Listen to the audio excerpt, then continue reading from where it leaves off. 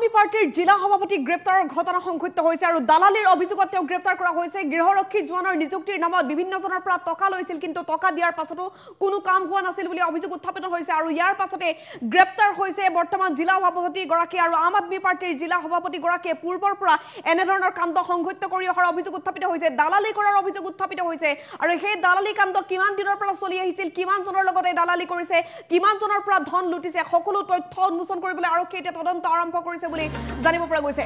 দালালিৰ অভিযোগত গ্ৰেপ্তাৰ হৈছে আম আদমি পাৰ্টীৰ জিলা সভাপতি।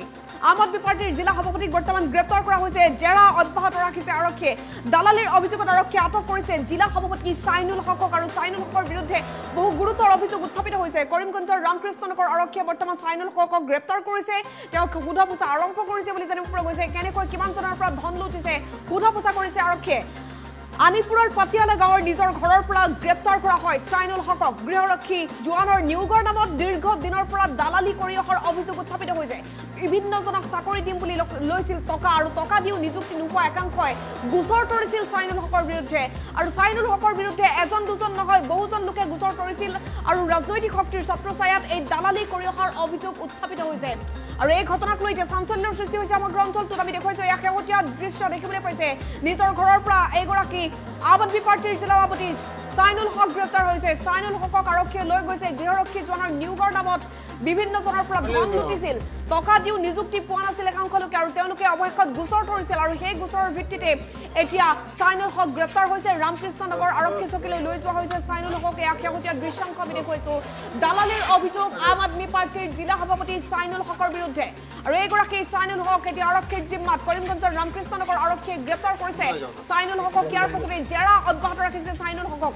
আনিপুৰৰ পটিয়ালা গাঁৱৰ নিজৰ ঘৰৰ পৰাই চাইনুল হকক গ্ৰেপ্তাৰ কৰিছে ৰামকৃষ্ণ নগৰ আৰক্ষীয়ে। গৃহৰক্ষী জোৱানৰ নিয়োগৰ নামত দীৰ্ঘদিনৰ পৰা দালালি কৰি আহিছিল চাইনুল হকে বিভিন্নজনৰ পৰা টকা লৈছিল টকা দিও নিযুক্তি পোৱা নাছিল একাংশ আৰু তেওঁলোকে অৱশেষত গোচৰ তৰিছিল চাইনুল হকৰ বিৰুদ্ধে। ৰাজনৈতিক শক্তিৰ ছত্ৰছায়াত এই দালালি কৰি অহাৰ অভিযোগ চাইনুল হকৰ বিৰুদ্ধে উত্থাপিত হৈছে। ইয়াৰ পাছৰ পৰিৱেশ এয়া গ্ৰেপ্তাৰ হৈছে চাইনুল হক চাইনুল হকক বৰ্তমান ৰামকৃষ্ণ নগৰ আৰক্ষী চকীত ৰখা হৈছে। সোধা পোছা অব্যাহত ৰাখিছে আৰক্ষীয়ে। বিভিন্নজনৰ গোচৰ আছে বিভিন্নজনে এফ আৰ দাখিল কৰিছে। চাইনুল হকৰ বিৰুদ্ধে কিমানজনৰ পৰা কিমান লাখ টকা লৈছিল চাকৰি দিম দিম বুলি। গতিকে এই চাকৰিৰ বজাৰখন মুকলি কৰিছিল চাইনুল হকৰ সৈতে আৰু কোন কোন জড়িত আছে? এনেধৰণৰ দালালিৰ সৈতে চাইনুল হকক সহযোগ কৰা মানুহ কোন কোন? সকলো দিশ বৰ্তমান চোৱা চিতা কৰিছে আৰক্ষীয়ে। তদন্ত অব্যাহত ৰাখিছে। ৰাজনৈতিক শক্তি আছে বুলি জানিব পৰা গৈছে। ৰাজনৈতিক শক্তিৰ ছত্ৰছায়াত এই দালালি কৰাৰ অভিযোগ উত্থাপিত হৈছে। আম আদমি পাৰ্টীৰ জিলা সভাপতি চাইনুল হক বৰ্তমান দালালিৰ অভিযোগত হৈছে গ্ৰেপ্তাৰ। আমি দেখুৱাইছো এয়া শেহতীয়া দৃশ্যাংশ।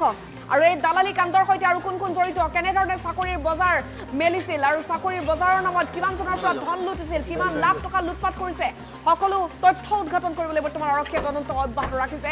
গৃহৰক্ষী জোৱানৰ নিয়োগৰ নামত বিভিন্নজনৰ পৰা লাখ টকা লৈছিল টকা দিও নিযুক্তি পোৱা নাছিল একাংশই গোচৰ কৰিছিল চাইনুল হকৰ বিৰুদ্ধে আৰু ৰাজনৈতিক শক্তিৰ ছত্ৰছায়াত চাইনুল হকে এই দালালি কৰি যোৱাৰ অভিযোগ উত্থাপিত হৈছিল। অৱশেষত চাইনুল হক আৰক্ষীৰ জিম্মাত।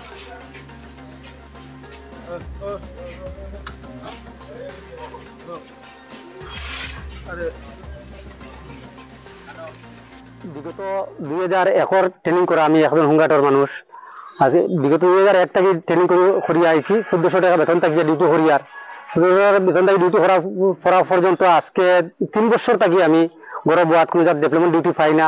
না ভাবা সত্ত্বেও আমরা এখানে করিমগঞ্জের একটা দুর্নীতি বা দালাল তার নাম হলো তার নাম হলো শাহিনুল হক। আর আম আদমি পার্টির ডিস্ট্রিক্ট প্রেসিডেন্ট হে। আজকে এই এই সিচুয়েশন আমরা রাখছে যে বিশ হাজার, পঁচিশ হাজার তিরিশ হাজার দেবার পরে তারে তারে দিলে আমরা ডেভেলপমেন্টটা হয়, আমরা ভাই বন্ধু তারা দিতে লাগে নিয়া। একদিন আমি আজকে তিন মাস আগে আমি তার ঘরে গেছি। ঘরে যাবার পরে আমি কমান্ডেন্ট অফিসে গেছিলাম কমান্ডেন্ট অফিসে গিয়ে আমার ডেভেলপমেন্টটা হয়েছে না। না হওয়ার কারণে কমান্ডেন্ট অফিসে যাও গিয়া অফিসে তুমি যোগাযোগ করি, আমি অফিসে গেছি, অফিসে গিয়ে হাজাম করি একজন আমরা ঘুরে দিয়েছি আসলে ঘুরে গিয়ে হয়েছে দেখো, তুমি তো আইসোই কেন?